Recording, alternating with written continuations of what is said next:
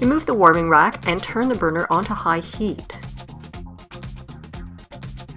Inside we're going to add our spice rub. Place one fork onto the spit rod about halfway and then tighten. Insert the rod through the cavity and push the fork into the meat. Thread the other fork onto the rod and push into meat and tighten. Now you have to spin to determine the heavy side of the meat. It will roll to the bottom. Install the counterweight facing up and tighten to the spit rod. Mount the rotisserie rotor and place the rod onto the slots.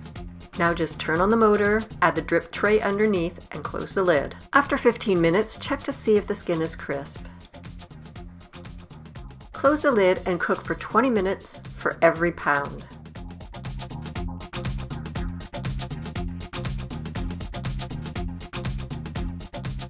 The meat should register 180 Fahrenheit on a thermometer.